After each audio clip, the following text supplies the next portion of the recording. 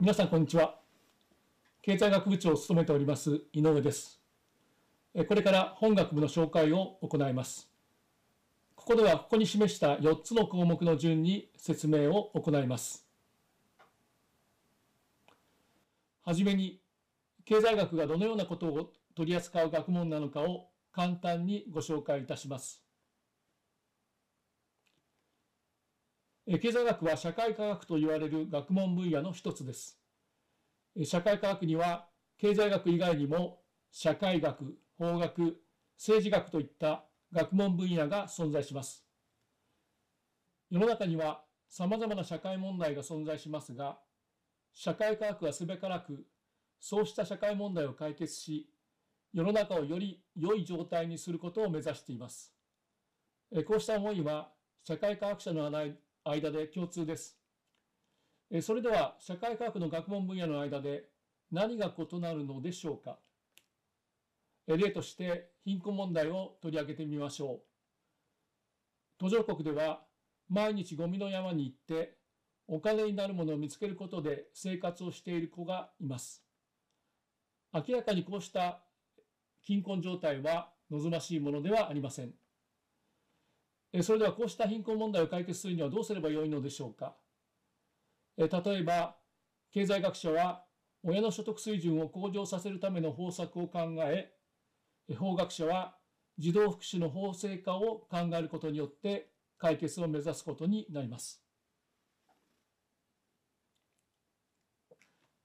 経済学を英語では economicsと言います。人間は太古の昔から経済活動を行ってきましたが、経済学が最初に体系化されたのは18世紀のヨーロッパでした。以降、 economicsの研究はヨーロッパ諸国を中心に行われてきましたが、明治時代になると economicsは日本にも輸入されました。その際、先人はエコノミクスに経済学という訳語をあてがいました。さて、この経済という言葉ですが、もともとは中国の古典に登場する形成催眠という言葉の略語です。形成催眠とは世の中をうまく収めることで民衆を苦しみから救済するという考え方です。経済学には様々な分野がありますが、主に2つのアプローチが取られます。1つ目のアプローチは、経済現象を理論的に説明しようとするアプローチで、代表的なものにミクロ経済学とマクロ経済学と言われる分野が挙げられます。ミクロ経済学は個人や企業を対象に経済現象を説明しようとするアプローチで小さな単位から世の中がどのように動くのかをボトムアップで考える学問分野です。一方、マクロ経済学は一国経済または国際経済全体を対象に経済がどのように動くのかを調べるつまりトップダウンで考える学問分野です。2つ目のアプローチは理論から導かれる予測の確からしさを調べるアプローチで代表的なものには統計学や経済史といった分野が挙げられます。経済学はデータを集めて分析することで理論的な予測がどの程度当てはまっているかどうかを数量的に検証する学問分野です。一方で経済史は歴史の慣習から人類がどのように生きてきたかを論理的に考え解明しようとする学問分野です。経済学の一つの強みはパワフルな分析能力にあります。社会科学では社会現象の説明を試みますが他の専門分野に比べて経済学は高い説明能力を持つと考えられております。そのため経済学は社会科学の女王と呼ばれています。ちなみにこれと対峙するのは物理学でありまして、こちらは自然科学の王と呼ばれています。経済学の2つ目の強みは国際標準化が進んでいる点です。経済学の分析は国際標準化が進んでいるため、日本の大学で学習する内容も海外の大学で学習する内容もかなり似通っています。この点は理系の学習方法に近いと言えます。国際標準化が進んでいる経済学を専攻すると、海外で活躍することが比較的容易になります。最後の強みは、給与水準が高いということです。内外のさまざまな調査結果を見ても、経済学部出身者の給与水準は、いわゆる文系出身者の中で最も高いことが証明されています。次に青山学院大学の経済学部について紹介いたします。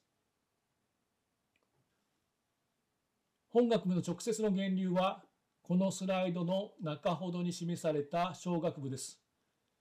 1949年に青山学院大学が開学し、文学部、工学部とともに小学部が設置されました。5年後の1953年には、小学部は経済学部に改装されました。その後、いくつかの改装を経て、2008年に現代経済デザイン学科が開設され、現在2学科体制で運営されています。では、これら2学科の違いについて簡単にご紹介させていただきましょう。経済学科では専門分野を大きく3つのコースに分けています。1つ目のコースは理論数量コースです。このコースはミクロ経済学、マクロ経済学、統計学といった経済学の中心分野であり、一番厳密な数学的な分析を行います。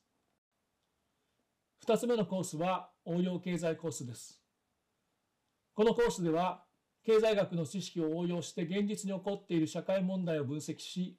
その解決のための提案を行うことを目指しています。最後のコースは歴史思想コースです。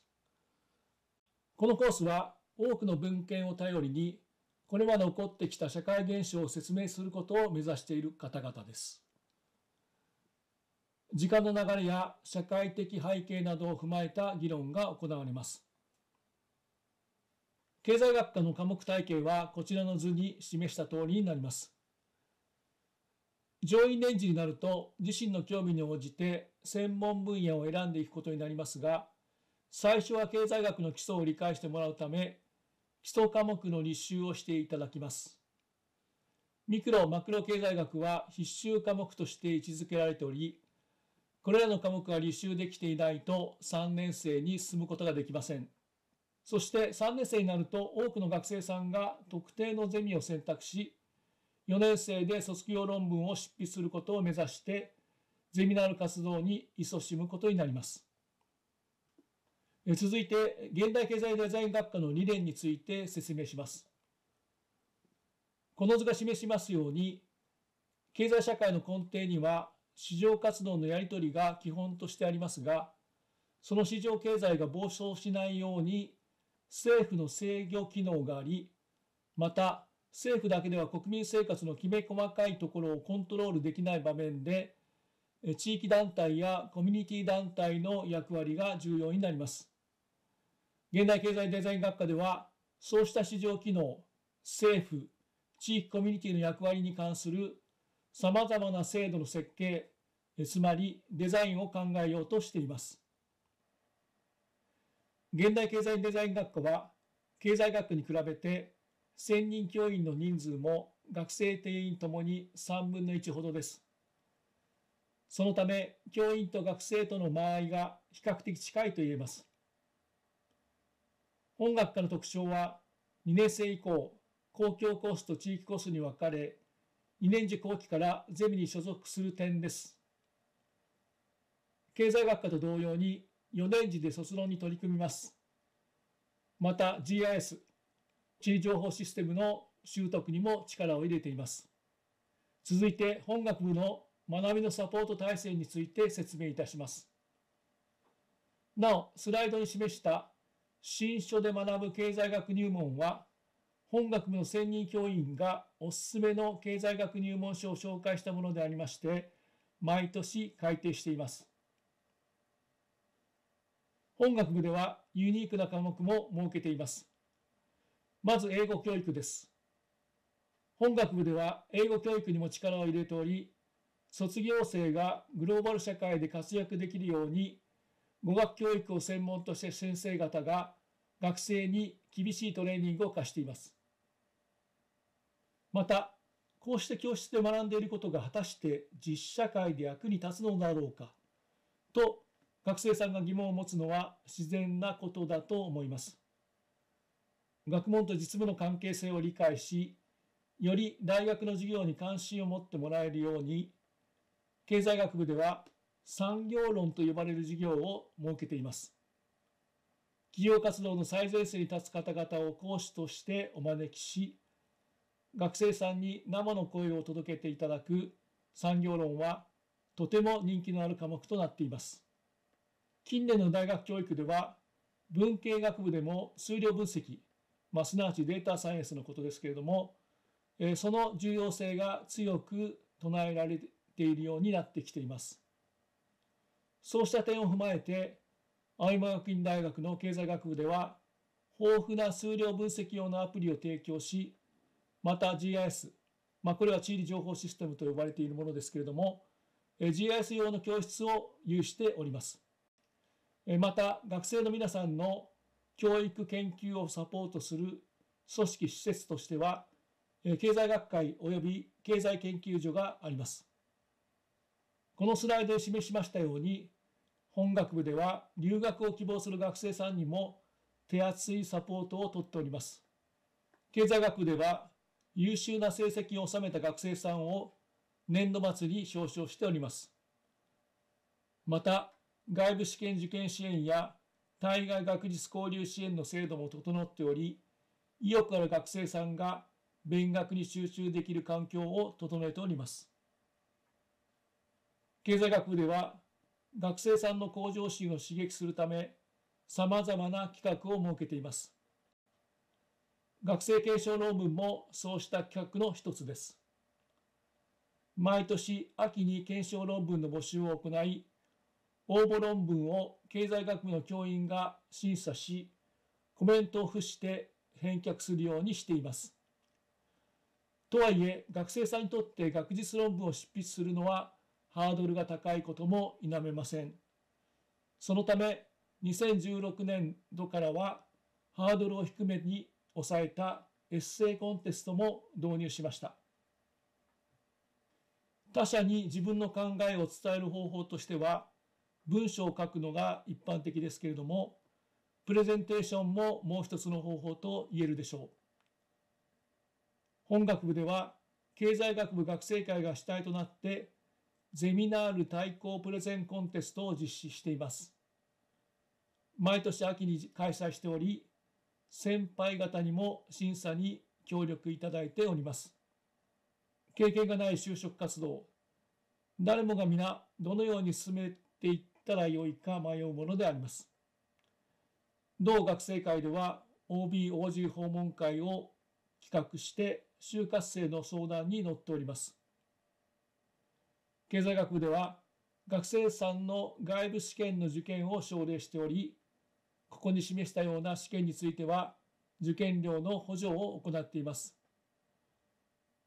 また、税理士試験やファイナンシャルプランナー技能試験を受験される方向けの特別講座も開設しています。最後に大学卒業後の就職状況について説明いたします。